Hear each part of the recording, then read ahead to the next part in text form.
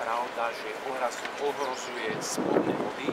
čo je veľké nešťastie vôbec pre tento región, možno pre Žitný ostrov. Verím, že životné prostredie, ministerstvo a všetky kompetentné orgány v spolupráci aj s nami urobia maximum z hľadiska zabezpečenia tejto skládky,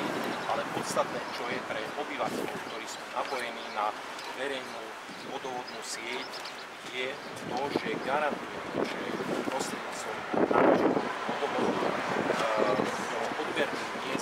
dostáva hygienicky vodná pitná voda, čiže kdokoľvek, kto je napojený na rozvody Bratislavskej farajskej spoločnosti má garantované, že má k dispozícii pitnú vodu a nie je v žiadnom ohrození, keďže naše vodné zdroje nie sú napojené a v žiadnom prípade nie sú prepojené s ohrozením tejto skládky. Takže to je